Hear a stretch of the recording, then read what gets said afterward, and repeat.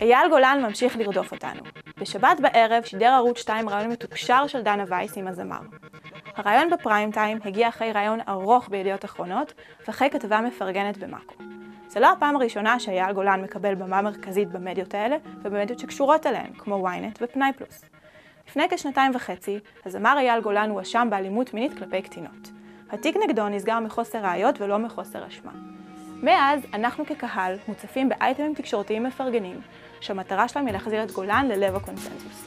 הכתבה של דנה וייס לא הייתה שונה בהרבה.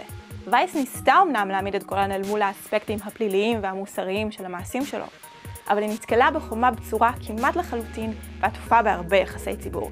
הנרטיב שעבר בסוף היה הנרטיב של גולן, של הגבר המבולבל והמוסרי שלא עשה שום דבר רע, אבל שמותר לו לקחת מין כל עוד זה חוקי.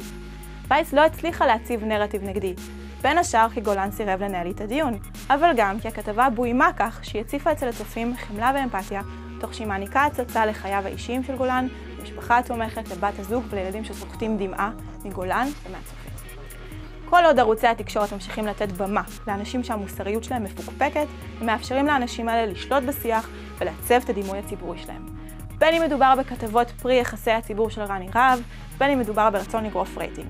כל עוד הכתבות הללו על אייל גולן ממשיכות להופיע, ערוצי התקשורת דוחפים לנו לגרון את תרבות האונס, שזו תרבות שמטשטשת את הגבולות בין מין ברצון לבין כפייה מינית.